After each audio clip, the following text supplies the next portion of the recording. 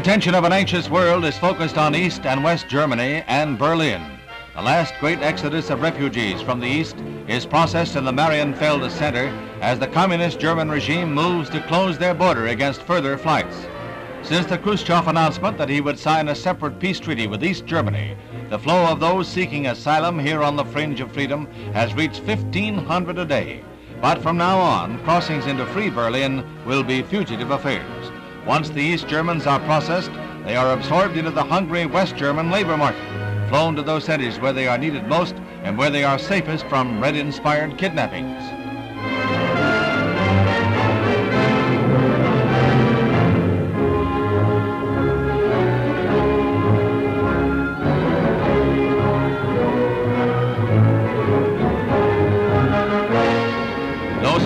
One group fly to safety from West Berlin then others would arrive to take their place, leaving most of their possessions behind them and taking the one choice they cherished most, the desire for freedom.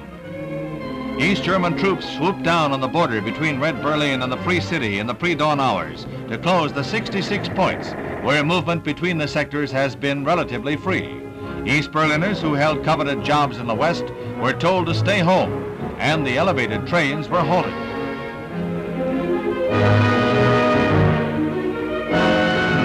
Mayor Willy Brandt, commenting on this latest Russian move in the war of nerves, cautioned East Berliners against revolt, exhorting them to do nothing rash. The mayor, along with other West Berlin authorities, feels that some minor incident might give East German and Soviet troops an excuse to oppress the people further. Two battle-ready Soviet army divisions have ringed the city to bolster the army of the East German puppet government. Meanwhile, the Allies set to work immediately to draft a strong note of protest. Even when the corridor to Berlin was blocked and the Allies resorted to the famed airlift, free movement within the city was never interrupted. The Russians have told their people that the border was closed to prevent the infiltration of agents from the West.